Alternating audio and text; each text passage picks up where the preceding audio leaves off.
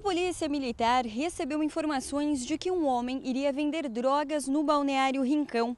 Ao fazer rondas pela região, a PM acabou encontrando o homem no balneário Torneiro, em Jaguaruna. O homem, ao ver a guarnição, tentou fugir, mas foi pego logo em seguida. Em uma residência, junto com outros três homens, foi encontrado drogas, armas e uma quantidade em dinheiro.